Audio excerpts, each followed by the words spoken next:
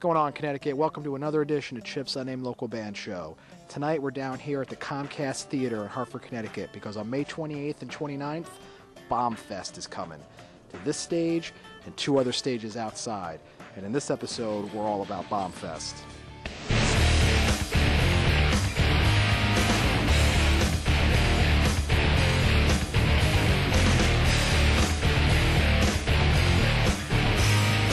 Welcome to the secret lair, and it does look like a secret lair. Nice decoration job of the band Eula. We are down here in Hamden, and as of this moment, the minute that camera turned on, you guys are the first ever band to appear on the show twice. All right. Welcome back. We are down here again to talk to this band for two big reasons. And the first reason we talked about a little bit when we were here last time, it's this album right here. Brand spanking new. It's called Maurice Narcisse. And I have to say that this album is fantastic. I listened to the whole thing today at my desk, and it was awesome. The production is fantastic. How do we feel about this? Digging it. That's it? Good answer. Digging it. Digging it. Anybody want to expound on that? Uh, did anyone ask you to turn it down while you were listening? Headphones, my friend. Headphones. No. But in all honesty, this record is just. It's fantastic. It really is. and. you. You know, we, we caught a glimpse of some of this music live when you guys opened the MT Barrington CD release show, and this album I think really captured that live essence of the band, which is what you guys have really built your reputation on, is you know some pretty fierce live shows. So, eh, are, tell me about the album. Are you are you pleased with how it came out? Is there anything you'd change or? Want to take that? Yeah. No, we spent a long time on this, and uh, I think it came out well.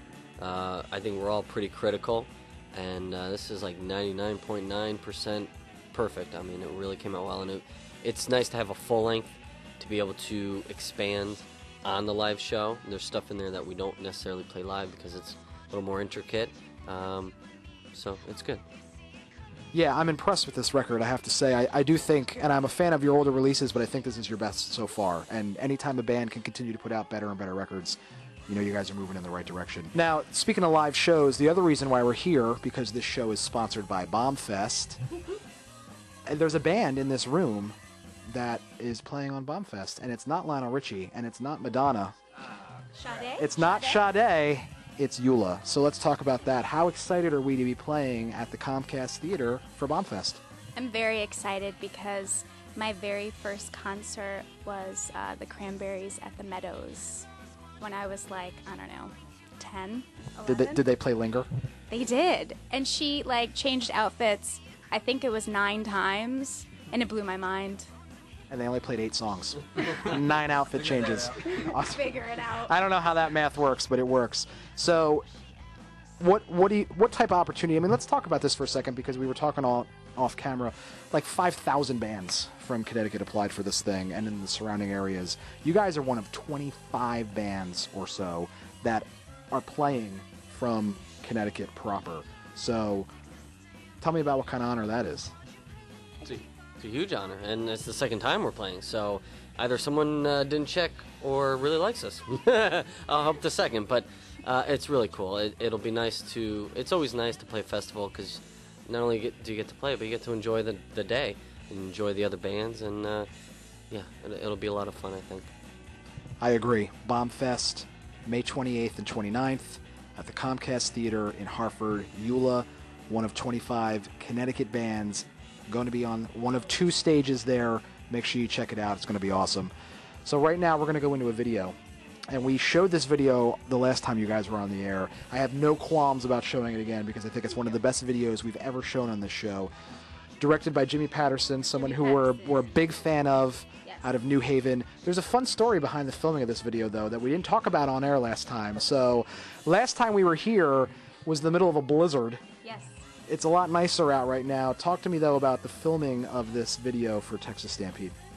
Well, this is a very long story, so um we almost died a couple times in that cab coming home, all for this Texas Stampede video. But I think it was worth it. I think it was worth it. Two things. One, she's the only person to ever take the mic from me on camera. She's done it twice now. Two, the video is totally worth having your car ticketed and towed and being stranded in New Haven in a snowstorm at some restaurant you don't remember the name of. Exactly. It comes off of this record, Maurice Narcisse. Fantastic album. You can pick it up, eulamusic.com. Where else can they purchase it? Um, iTunes, Amazon.com, and I believe one other. I don't know. Those two. Your, and your local record store, your local record shop. So check it out. This is the video Texas Stampede.